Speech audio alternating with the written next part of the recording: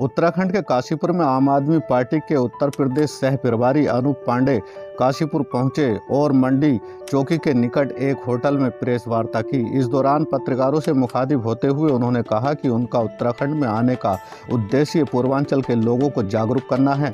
उन्होंने कहा कि पूर्वांचल के लोग पीड़ा और पीड़ित होकर पूर्वांचल से उत्तराखंड आए थे। यहाँ के लोगों का प्यार पाकर यहीं निवास करने लगे। उनसे मिलने के लिए उत्तराखंड आए हैं।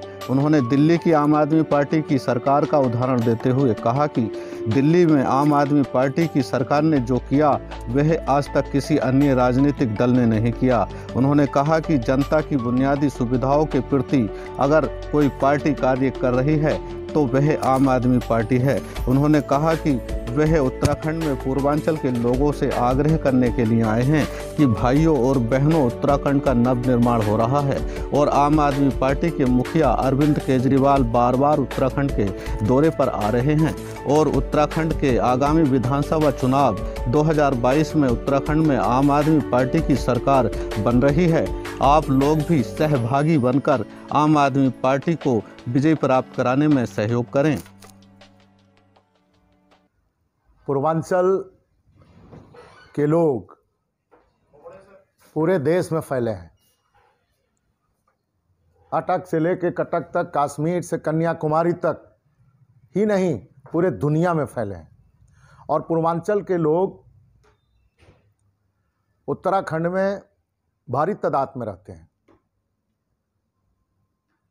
पीड़ा और पीड़ित होकर यहाँ आए। लेकिन यहाँ लोगों का प्यार पाए और यहीं बस गए। तो आम आदमी पार्टी दिल्ली में पूर्वांचल के लोगों के लिए बहुत सुविधाएँ दे रही हैं। बुनियादी समस्याओं का समाधान अगर इस देश के अंदर कोई पार्टी कर रही है तो वो आम आदमी पार्टी कर रही है। तो यहाँ के लोगों से आह्वान करने आया हूँ यहाँ के लोगों से निवेदन करने आया हूँ कि भाइयों बहनों, उत्तराखंड का नवनिर्माण हो रहा है।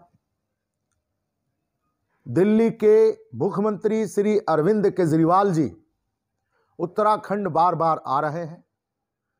यहाँ पे आम आदमी पार्टी की सरकार बनने जा रही है।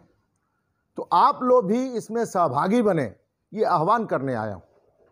और मुझे विश्वास है कि उत्तराखंड में सभी मिलकर के उत्तराखंड के विकास में सहभागी बने।